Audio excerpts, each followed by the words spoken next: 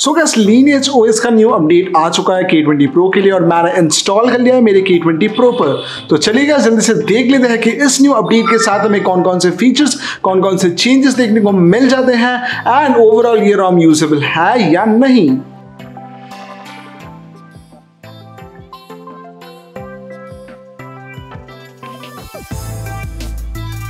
सो gas अगर बात कर ले इस रॉम की डिटेल्स के बारे में तो हम लोग देख सकते हैं जो रॉम है एंड्रॉइड 10 बेस्ड है।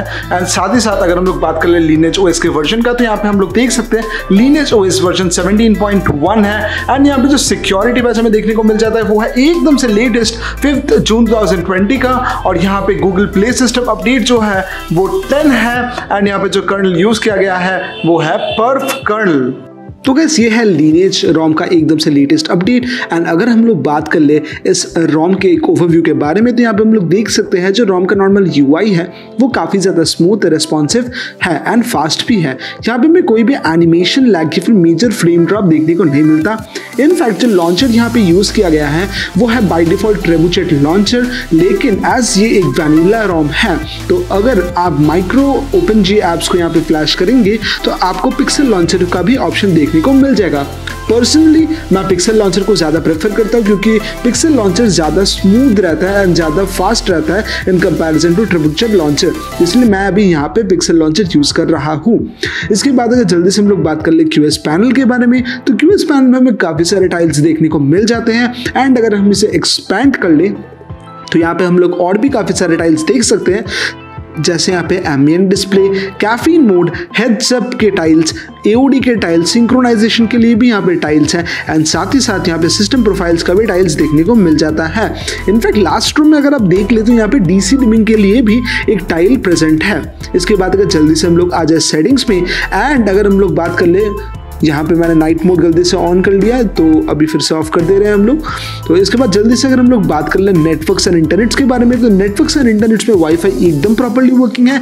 इनफैक्ट यहाँ पे मोबाइल डेटा एंड वो वाईफाई कॉलिंग को लेकर भी कोई प्रॉब्लम नहीं है। जो प्रॉब्लम मैंने थोड़ा सा फेस किया, वो है regarding the VoLTE video call VoLTE video call उतना कंसिस्टेंट मेरे को नहीं मिला। कुछ कुछ टाइम में वो कनेक्ट नहीं होता है इस रोम में। फिर मैं अब सभी को एक नॉर्मल कॉल करके दिखा दे रहा हूँ, ताकि आप सभी को पता चल जाए कि इस में कॉलिंग का क्या सीन है? वेलकम टू जियो बांग्ला चोनो तो यहाँ पे आप देख सकते हैं कॉलिंग एकदम सीमलेस यहाँ पे काम करता है। इनफैक्ट यहाँ पे ब्लूटूथ भी एकदम अच्छे से ही काम करता है। उसके बाद अगर बैटरी में आ जाए तो यहाँ पे बैटरी एवरेज है। एकदम से बेस्ट तो नहीं बोलूँगा, लेकिन हाँ यहाँ पे आपको मीडियम यूजेज में लगभग छः घंटे का बैटरी लाइफ आराम से मिल जाएगा। यहाँ पे आपको थर्मल प्रोफाइलिंग के भी ऑप्शन मिल जाएँगे। या फिर देख सकते हैं आप थर्मल प्रोफाइल्स यहाँ पे आप एप्लीकेशन को उस हिसाब से सिलेक्ट भी कर सकते हैं। इसके बाद अगर जल्दी से हम लोग बात कर ले डिस्प्ले में तो डिस्प्ले में हमें काफ़ी सारे ऑप्शन देखने को मिल जाते हैं। इनफैक्ट स्टाइल्स एंड वॉलपेपर्स का जो ऑप्शन है, वो भी आपको यहीं पे देखने को मिल जाता है, जहाँ पे आपको बेसिक चार टाइप के क्लॉक देखने को मिल जाते हैं। इसके बाद अगर हम लोग बात कर ले तो यहाँ पे एंटी फ्लिकर मोड जो कि डीसी डिमिंग के नाम से भी आप सभी जानते हैं, वो मेन्यू आपको यहीं देखने को मिल जाएगा। इसके बाद अगर साउंड को रिलेटेड भी बात कर ले तो यहाँ पे साउंड बिल्कुल अच्छे से काम करता है, कोई प्रॉब्लम नहीं है। एंड एडवांस में अगर हम लोग आ जाए तो नीचे हम लोग डायरेक्ट साउंड एनहेंसर का भी ऑप्शन देख सकते हैं। तो यहाँ पे साउंड बिल्कुल प्रॉपरली वर्किंग है। इसके बाद अगर यहाँ पे हम लोग बात कर ले सिक्योरिटी को लेकर तो सिक्योरिटी में हम देख सकते हैं यहाँ पे पैटर्न के साथ साथ फिंगरप्रिंट भी यहाँ पे अवेलेबल है, लेकिन कोई भी फेस अनलॉक हमें देखने को नहीं मिलता। यहाँ पे इस अपडेट के साथ मैं यही बोलना चाहता हूँ कि फिंगरप्रिंट ड्रास्टिकली इंप्रूव किया है, यहाँ पे एक्यूरेसी रेट एंड जो इसका स्पीड है, वो दोनों ही काफ़ी ज़्यादा इंप्रूव कर चुके हैं। एंड आप आराम से फिंगरप्रिंट के ऊपर रिलाई कर सकते हैं, ये one of the best fingerprint लीने जो इसके इतने सारे जो अपडेट्स मैंने रिसीव किए, सबसे अच्छा फिंगरप्रिंट मुझे इस अपडेट में लग रहा है। इसके बाद अगर हम लोग जल्दी से बात कर ले सिस्टम्स में तो सिस्टम्स में हम लोग देख सकते हैं यहाँ पे ऑप्शन है बटन्स बटन्स में आप जाके बटन्स को कॉन्फ़िगर कर सकते हैं, जितने भी फोन्स के बटन्स हैं। इसके बाद अगर हम लोग बात कर ले फ्रंट कैमरा साउंड इफेक्ट्स तो उसमें आप फ्रंट कैमरा जो पॉपअप कैमरा है, उसके साउंड इफेक्ट्स को कन्फिगर कर सकते हैं। इनफैक्ट इसके साथ साथ हमें यहाँ पे system profile status bar configuration and यहाँ पे जेस्चर सपोर्ट भी देखने को मिल जाते हैं। यहाँ पे जेस्चर्स के लिए मेन्यू है, जिसमें आप swipe to screenshot and system navigation को यहाँ पे कन्फिगर कर सकते हैं। इनफैक्ट यही खत्म नहीं होता। सिस्टम में एक जो क्रूशियल फीचर जो कि है सिस्टम अपडेटर वो मेन्यू भी यहाँ पे प्रेजेंट है। ये एक्चुअली क्यों हेल्पफुल होता है? क्योंकि सिस्टम अपडेटर रहने पर इस रोम का कोई फर्दर अपडेट आप रिसीव करते हैं तो उसे डायरेक्टली यहीं से अपडेट कर पाएँगे। ना ही आपको फिर से रोम का जो जिप फ़ाइल है, उसे डाउनलोड करके कस्टम रिकवरी से और फ्लैश नहीं करना पड़ेगा। तो इसके बाद अगर जल्दी से फिर से आ जाए होम स्क्रीन में एंड बात कर ले कैमरा को लेकर तो कैमरा हम यहाँ पे देख सकते हैं, जो कैमरा है, वो एकदम अच्छे से ही काम करता है। लेकिन जो एप्लीकेशन है, वो है स्नैप कैम जो कि काफ़ी बेसिक होता है। तो अगर आप ए कैम या फिर जी कैम ज़्यादा यूज़ करते हैं तो मैं आप सभी को रिकमेंड करूँगा कि आप अलग से उसे डाउनलोड करके फ्लैश कर ले, क्योंकि आपको इनबिल्ट वो नहीं मिलेंगे यहाँ पे। तो गैस इस अपडेट के साथ एक बग जो हमें पिछले बिल्ट में देखने को मिलता था, वो भी हो चुका है फिक्स जो कि है regarding the burn in protection आप ये को यहाँ पे पता ही होगा कि इस रोम में जो AOD है, वो काफ़ी अच्छी तरीके से ही काम करता है। आप अगर यहाँ पे डिस्प्ले में आ जाए डिस्प्ले में आने के बाद अगर आप लॉक स्क्रीन यहाँ पे सेटिंग्स पे आ जाए lock screen display and then यहाँ पे अगर आप ऑलवेज ऑन को ऑन कर लें तो आप यहाँ पे देख सकते हैं जो AOD है, वो एकदम अच्छे से ही काम करता है।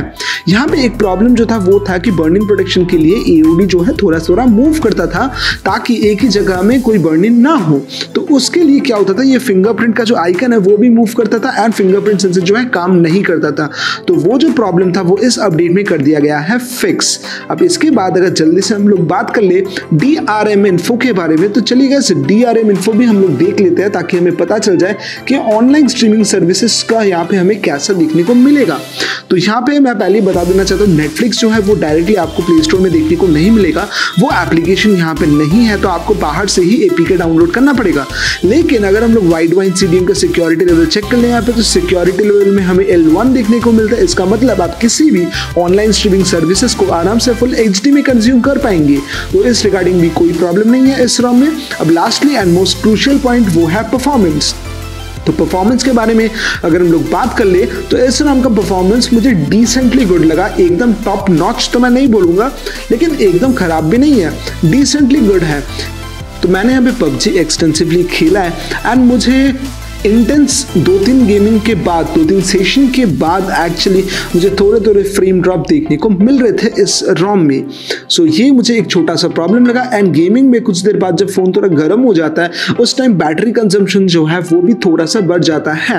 इनफैक्ट यहाँ पे मैंने चार्जिंग भी किया है इस रोम में तो चार्जिंग स्पीड भी जो था वो थोड़ा सा कम था मी से। लगभग आपको डेढ़ से दो घंटे लग जाएँगे इस रोम को चार्ज करने में। एकदम आइडियल कंडीशन में कभी कभी उससे ज़्यादा टाइम भी ले लेते हैं जब फ़ोन का टेम्परेचर थोड़ा सा हाई रहता है। तो ये एक मुझे छोटा सा इशू इस रॉम के साथ लगा। एंड मैंने गीगबन स्कोर को भी यहाँ पे टेस्ट आउट किया आप सभी के लिए, क्योंकि आप सभी मुझे काफ़ी रिक्वेस्ट करते हैं कमेंट में। लेकिन फिर भी मैं एज यूजल कहता हूँ कि इसे फाइनल वर्डिक के हिसाब से मत लीजिए।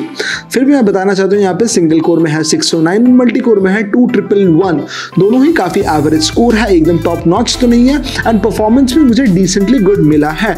तो मैं अब कहूँगा कि एकदम एक्सट्रीम गेमर्स जो है, वो प्लीज़ इस रॉम को कंसिडर मत कीजिए। अगर आप लाइट यूज़र हैं तो ज़रूर से इस रॉम को ट्राई कर सकते हैं। काफ़ी सिंपल है, कोई भी ज़्यादा आपको कस्टमाइजेशन सेंटर भी यहाँ पे देखने को नहीं मिलता। एकदम ही सिंपल रॉम है बेसिक से फीचर्स है एंड ये एकदम ईजी टू यूज़ है। तो ये काफ़ी एक अच्छी बात है। इनफैक्ट यहाँ पे मैं बताना चाहता हूँ कि जो सेल इन स्टेटस है, वो भी यहाँ पे हमें एनफोर्सिंग ही देखने को मिलता है, जो कि काफ़ी एक अच्छी बात है। यहाँ पे हम लोग देख सकते हैं सेल इन स्टेटस जो है, वो यहाँ पे यहाँ पे एनफोर्सिंग देखने को मिलता है।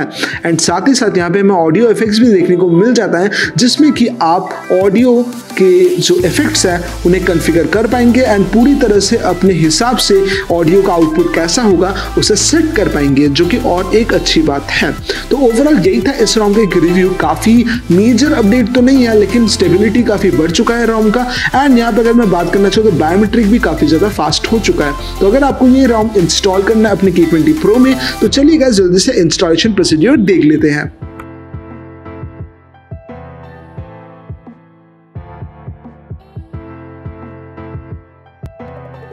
इस रॉम को इंस्टॉल करने के लिए हमें क्या करना पड़ेगा? लॉक बटन और वॉल्यूम अप बटन को साइमल्टेनियसली प्रेस करना पड़ेगा। एंड हमारे फ़ोन को जो है कस्टम रिकवरी मोड में ले जाना पड़ेगा।